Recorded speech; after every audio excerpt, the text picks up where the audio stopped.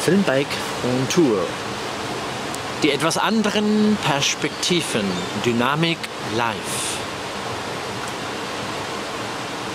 Von Ottmar Hitzfeld, gebotschaftet an Olli Kahn, immer weiter, immer weiter, kam der eine Spruch. Der andere Spruch kommt von Mr. Win von filmbike.com.tv. No limits for more human rights, for more human moments worldwide. For a better planet, for a better nature. Impulse dort schaffen, an den Orten, an denen man sie nicht vermietet. Nein, nicht vermietet, nicht vermutet. Freudsche Versprecher eingeschlossen.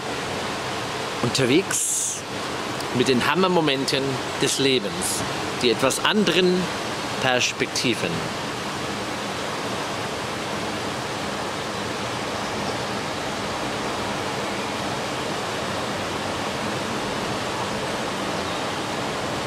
Öfters mal am Geschehen des Lebens.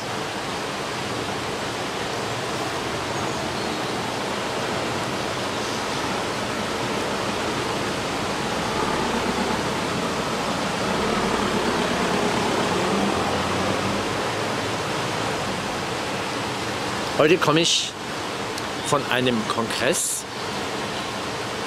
mit weltweiten Managern, die meinten, wo ist denn mein Filmbike, seiner? Das ist hochgesichert. Ich hatte ja meinen George W. Böhm nicht dabei, der darauf wacht. Denn äh, des Öfteren bei längeren Reisen wurde schon versucht, dieses Fahrrad sich äh, anzueignen.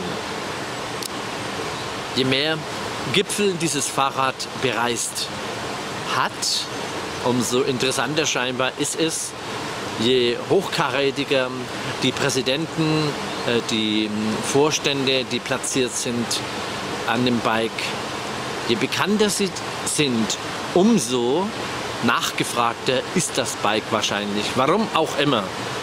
Sie merken wahrscheinlich den Wert, die Leute. Aber zurück zu den Kontakten. Und dann fragt der eine ähm, Vorstand mich, wie lange dauert denn das eigentlich schon, was Sie so tun? Sage ich, ja, zwölf Jahre. Aber Randkrankheiten wie Parkinson, Gendefekte, Kinder-Parkinson und dergleichen, Alzheimer eingeschlossen und so weiter, ist scheinbar nur, weil man tendenziell davon ausgeht, dass es im Alter kommt, nicht von Interesse zu verfolgen.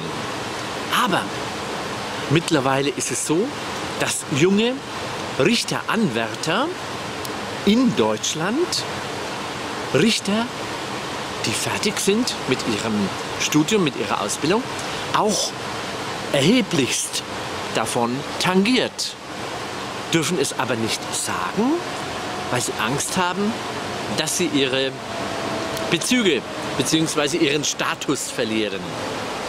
So, wie, so viel habe ich bis jetzt schon erfahren. Ist schon unglaublich. Wenn nämlich einer mit dem, ähm, mit dem, äh, muss nur zur Seite gehen, da kommt ein Auto, ein Porsche Panamera. Werbung darf ja erlaubt sein.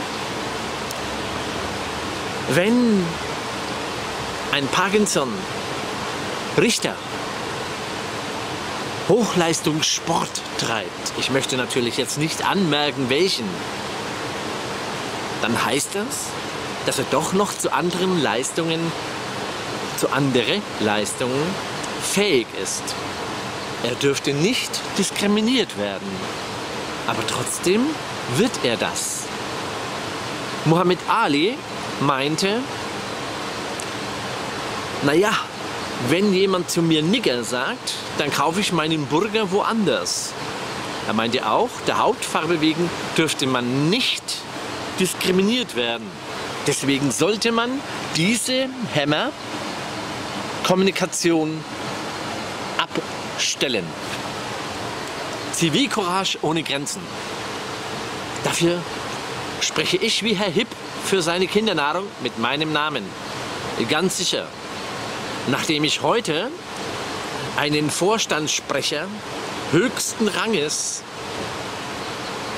kontakten durfte für 15 Minuten, wird das ein weiterer kommunikativer Meilenstein sein, um noch intensivster mit Managern AD und deren Kontakten das Schachspiel von der anderen Seite zu betrachten, zu analysieren, um dann nicht nur Kasparov zu treffen, Peter Leko zu treffen, Wladimir Kramnik zu treffen, sondern auch die Forscher der Jugend für morgen. Denn jeder kann der Nächste sein, der einen Gendefekt haben kann.